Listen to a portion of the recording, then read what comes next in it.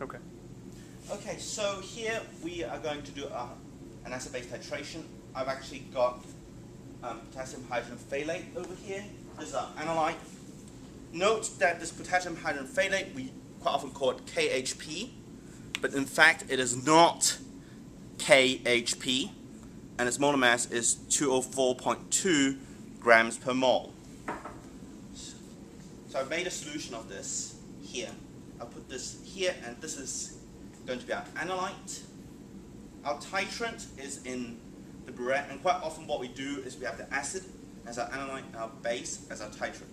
This is actually what I want to find. I've actually figured out, actually weighed this out, the potassium hydrogen phthalate out. I'm going to standardize the base. In other words, I'm trying to figure out um, the concentration of this. So first things first, let's look at the results here. And if you look here, the bottom of the meniscus, and you might need to use a piece of paper here, is just below the 13 line, but just below here. And so this is going to be, I would say is about 13.04. Because this is graduated to every 0.1 milliliters, you have to report this to the nearest 0.01 milliliters.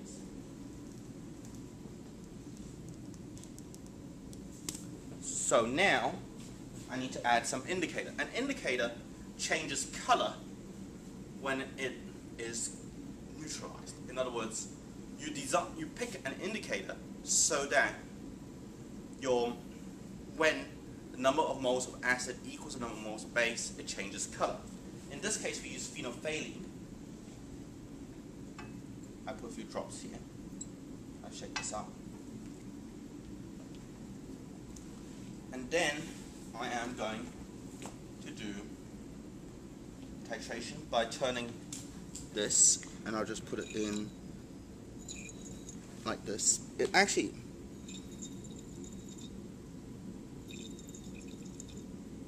and as you can see, as it goes in, you can see a little bit of pink in there. But if you shake it, it goes away. So it's not reached that point yet. It has not reached.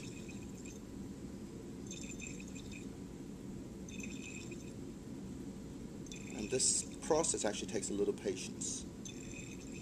So right now you can see that the pink is starting to stay in a bit more. So you put it in a bit slower, one drop at a time.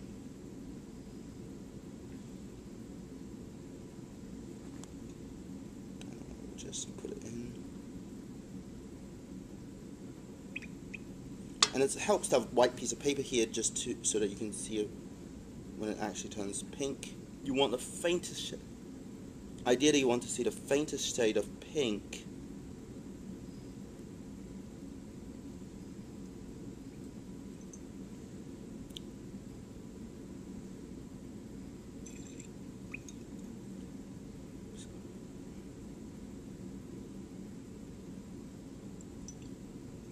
As you can tell, this is more of a skill than, and an art than anything else, and it takes patience to get and practice to get right.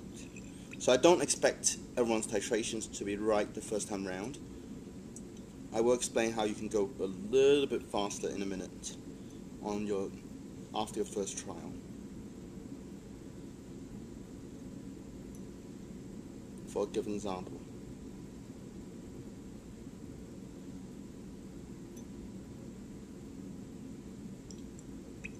So, staying in.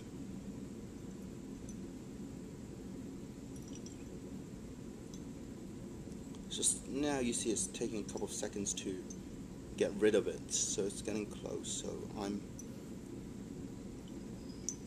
But now is when you need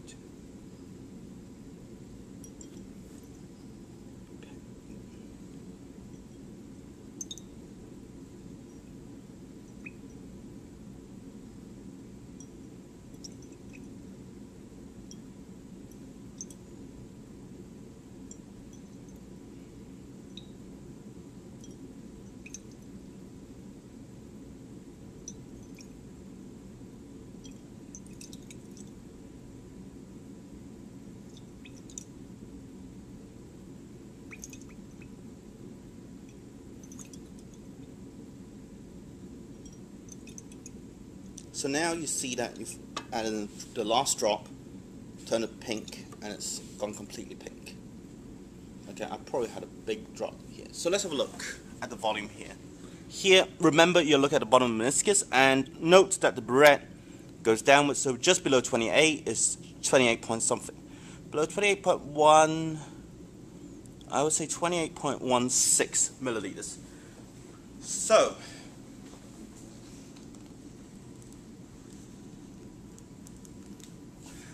a, cu a couple of hints. When you know this volume, you would then, in fact, know that it's got to be 28 minus 0.16 minus 13.04 is 15.12 milliliters. So you know that the volume to be delivered is about 15 milliliters, give or take. So what you can do, you can actually deliver 14 milliliters straight off the bat, 14 or so milliliters straight off the bat, and then go in drop by drop by drop after that. That will speed your titration up. The second thing is, when you redo the next do the next round of the titration, two things. One, you don't actually have to start at zero. As you can tell, I didn't start at zero.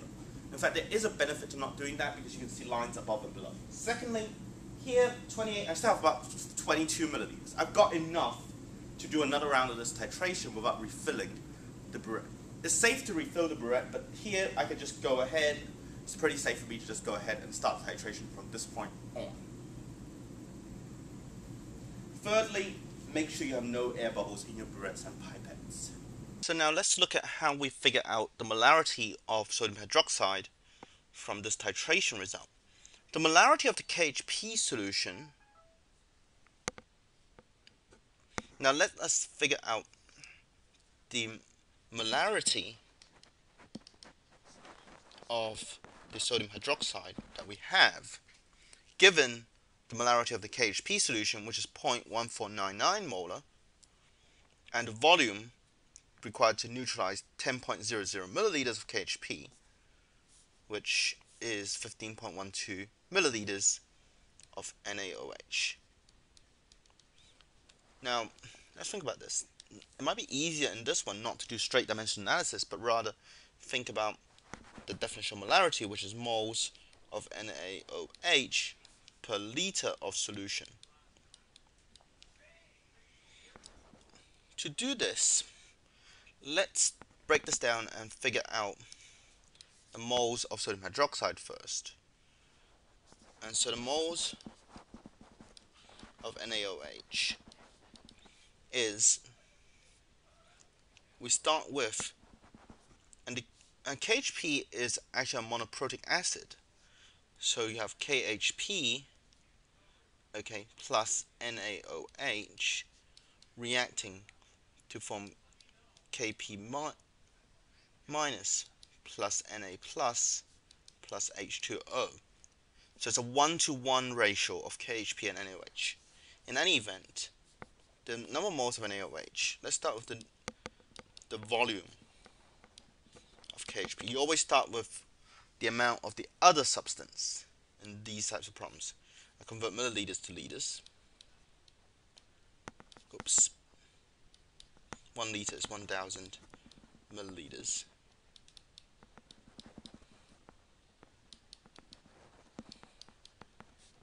Cancel this out. I have liters.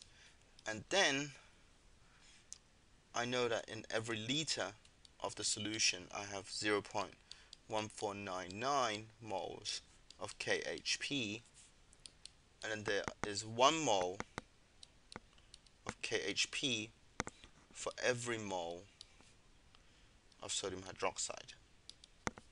When I do this, I find that I have 0.001499 moles of NaOH that has reacted. The liter solution is the lead is the volume of NaOH delivered. So, in this case, therefore, I can find the molarity